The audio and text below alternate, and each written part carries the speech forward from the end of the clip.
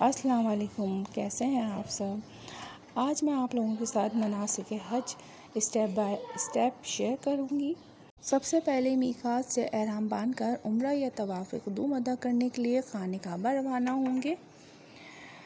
ساتھ ساتھ تلبیہ باواز بلند مرد حضرات پڑھیں گے اور عورتیں کم آواز میں پڑھ سکتی ہیں۔ حج کے ارکان پانچ دنوں پر مشتمل ہیں جو کہ آٹھ، نو، دس، گیارہ، بارہ ذی الحج ہیں۔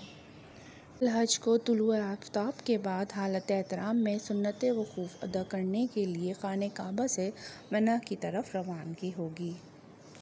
آٹھ ذی الحج کو منی میں پانچ نمازیں پڑھنا سنت ہے۔ پانچ نمازوں میں نماز ظہر، عصر، مغرب، عشاء اور فجر کی نماز شامل ہے فجر کی نماز ہم ادا کریں گے۔ وہ دن ہوگا نو ذی الحج کا۔ نو ذی الحج کو طلوع آفتاب کے بعد حج کا رکن اعظم رفوق عرفہ کے لیے منی سے میدان عرفات کے لیے روانہ ہوں گے۔ یہ دن یوم عرفہ بھی کہلاتا ہے۔ نو ذی الحج کا دن عرفات میں گزارا جاتا ہے۔ ظہر کے وقت سے وفوق عرفہ کا وقت شروع ہو جاتا ہے۔ ظہر عصر وہاں پڑھنی ہے عرفات میں مغرب کی نماز نہیں پڑھنی اور غروب آفتاب کے بعد مزدلفہ روانگی ہوگی اور وہاں پر عشاء کا وقت ہونے کے بعد مغرب اور عشاء کی نمازیں ملا کر پڑھیں گے۔ پوری رات عبادت میں مزدلفہ میں گزاریں گے اور ساتھ ساتھ رمی کے لیے کنکریاں بھی جمع کریں گے اور پوری رات عبادت میں گزاریں گے۔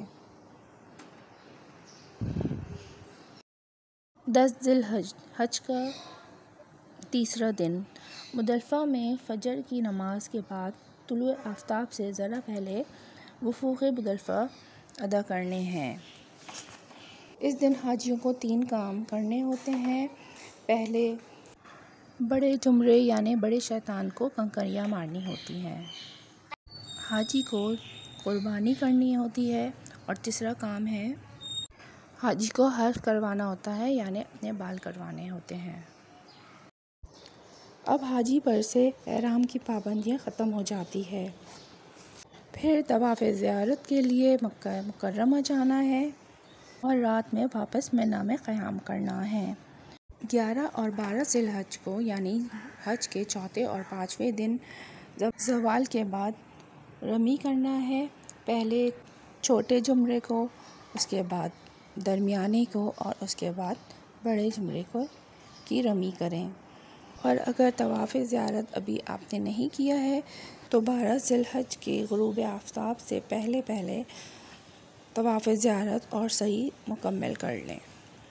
اپنے وطن واپسی سے قبل طواف وداع ادا کریں اور کعبے میں حاضری دیں۔ جتنے بھی عازمین حج حج پر گئے ہوئے ہیں، اللہ تعالیٰ اپنی بارگاہ الہی میں ان کا حج قبول فرمائے۔